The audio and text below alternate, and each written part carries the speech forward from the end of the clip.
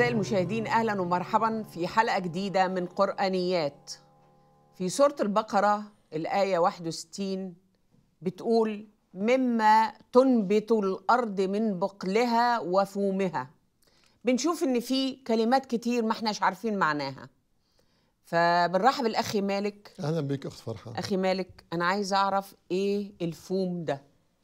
نعم الفوم مرة ثانية القرآن ومرات ومرات ثانية وثالثة ورابعة آه. دائما توجد لدينا كلمات نحتار بمعناها نرجع إلى المفسرين عسى ولعل أن يقدموا لنا إضاءات تساعدنا على فهم ماذا لدينا في هذا النص إن رجعنا إلى المفسرين نريد أن نعرف أيها المفسرون أنجدونا بموضوع فومها يعني. ماذا تقصدون بموضوع فومها نرى أن الأمر التالي يقول المفسرون فرحة على الشكل التالي.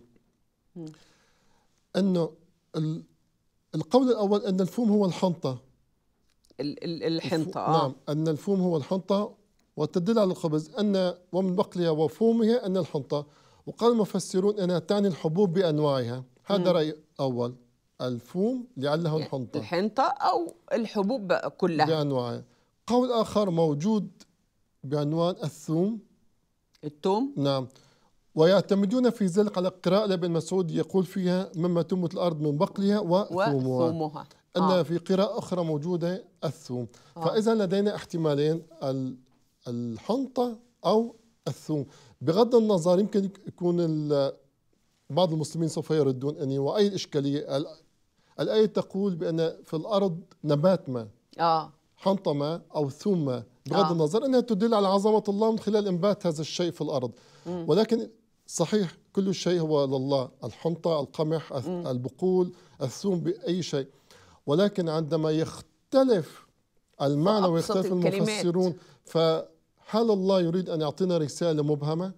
آه، هذا هو. السؤال آه. سواء ك- بكلا الحالتين ما. لا يوجد إشكالية آه. أراد الله أن يقول ينبت الثوم أو ينبت الحنطة الأمر سيان ولكن رسالة الله يجب أن تكون على الأقل واضحة كون الله هو أفضل من أي محامي يقدم كلمة واضحة دقيقة لا لبس فيها. يعني آه، آه، آه، الموضوع حضرتك كده أخي مالك بتقول من الآخر إن القرآن ليس كتاب بيان. بيان أبدا.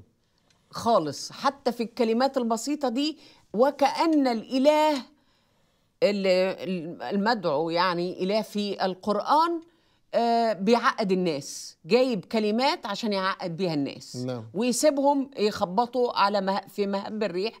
إيه الكلمات دي معناها إيه؟ نعم. بشكرك أخي مالك. أهلاً. بشكركم أعزائي المشاهدين. مش مهم يكون حبوب مش مهم يكون توم مش مش مهم يكون بصل.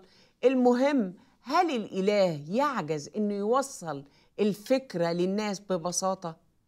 ده الموضوع. شكرا جزيلا. نشوفكم في الحلقة القادمة من قرانيات